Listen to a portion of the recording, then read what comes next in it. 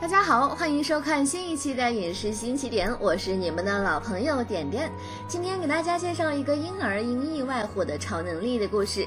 故事的开头，天空中下着大雨，老王的妻子小美即将生产，不幸被闪电劈中，没能活下来，只留下他们获得超能力的孩子小王。老王伤心至极，不承认这是他的儿子。转眼很多年过去了，小王的祖父去世，小王被迫生活在农场的地下室里。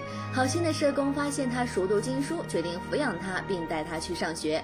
上学的第一天，他雪白的皮肤便受到同学们的排斥和嘲笑。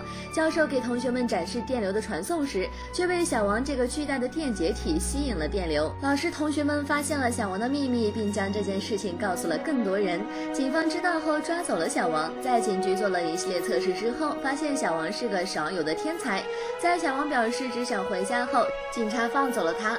回家的路上，小王遇到了警察局副局长。一伙人打上了一只鹿，小王走过去，感受到了鹿的悲伤，于是他很愤怒地保护鹿，但鹿还是死掉了。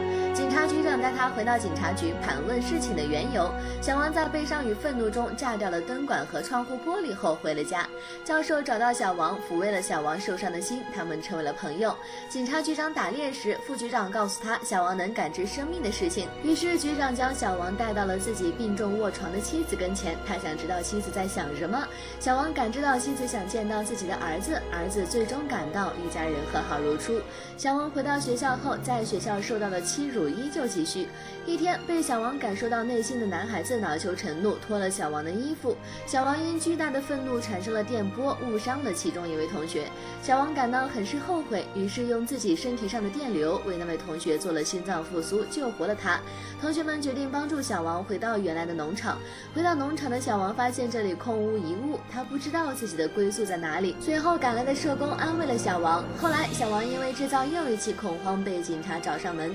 社工和警察局长想帮助小王逃走，但小王迎着闪电跑了过去。他永远的消失了，但他又永远的活了下来。看完这个电影，点点想问大家：如果你身处在因为外表和超能力就会被排挤的地方，你还会保持善良吗？好了，本期的影视新起点到这里就结束了。喜欢点点的要点点点点点关。关注哦。